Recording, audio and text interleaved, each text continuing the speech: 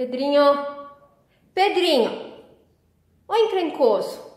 Mas, gente, mas 22 centímetros, impossível.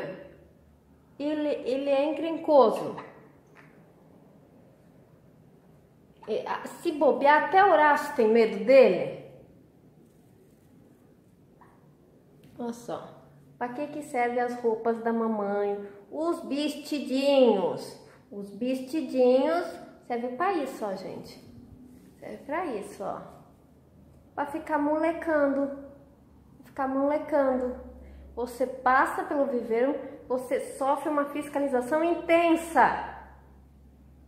E aí, se você disser não a tudo isso aqui, Deus o livre. São donos. São donos do pedaço.